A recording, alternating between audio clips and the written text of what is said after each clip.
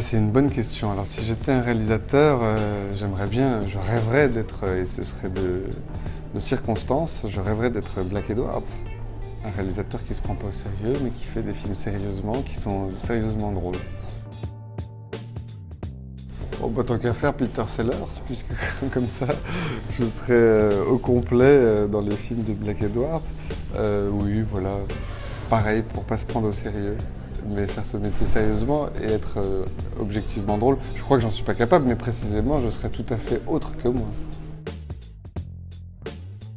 je dirais Phantom of Paradise, de Paul Williams en toute simplicité parce que c'est parce que ça m'a en fait tellement accompagné que je, m'en suis imprégné probablement et puis que les enjeux euh, de vie, de mort, euh, d'enfer, de diable, de jeunesse éternelle sont des enjeux qui nous travaillent tous mais qui sont là en tout cas dépeints avec euh, une incroyable singularité et, la musique est sublime.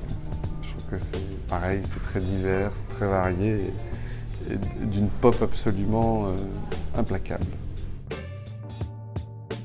Euh, je serai le baiser qui maintient éveillé Ingrid Bergman quand Cary Grant l'embrasse dans Notorious de Hitchcock. en fait il la maintient éveillée, elle est empoisonnée par Claude Reims, je crois, euh, qui est en fait un dignitaire néo-nazi. Euh, et, elle a été découverte comme espionne. Et donc pour la maintenir euh, chez lui, il l'empoisonne et Cary Grant vient la sauver. Et pour la maintenir éveillée, il l'embrasse et elle lui réclame. Et c'est le seul moment du film où enfin ils s'avouent leur amour. C'est à la fin. Et il lui avoue son amour pour la sauver. C'est un grand moment de cinéma. Euh, moi, j'ai beaucoup aimé les, bagarres chez John Woo.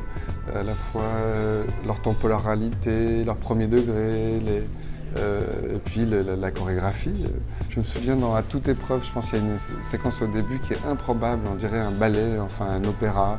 C'est différentes personnes qui ont rendez-vous. On ne comprend pas encore tout à fait de quoi ils retournent. Les enjeux ne nous ont pas été donnés. Mais euh, ça n'est que jeu de regard. Euh, il y a toute une tension qui monte progressivement.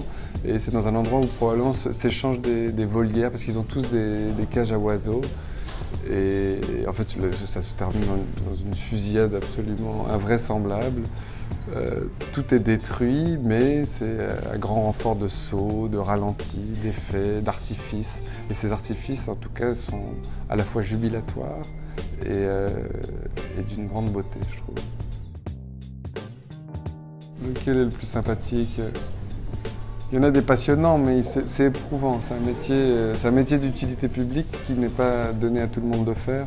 Et moi, à la fois, mon hypochondrie et mon désir de ne pas trop avoir de contact en, direct avec la mort, la mort des êtres humains, tout ça fait que je, je serais plutôt euh, du côté des mœurs, on va dire, la brigade des mœurs.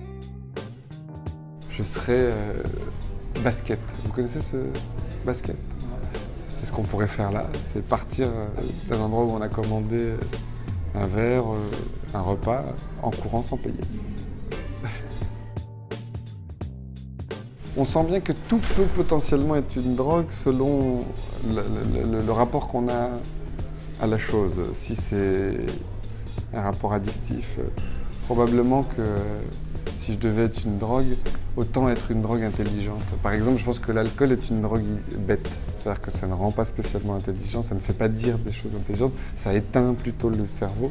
Mais pour autant, moi, je, suis allé chercher cette, cette extinction. Mais je me dis qu'il y a des paradis artificiels beaucoup plus passionnants du côté de, certains produits comme euh, l'héroïne. Ça me fait rêver en tout cas. Je vois, je vois un geste, je vois un grand geste du côté de, l'héroïne. Moi, je me suis jamais drogué. Et euh, je dois dire que je suis assez impressionné des gens qui osent ce geste. Mais les champignons hallucinogènes, peut-être.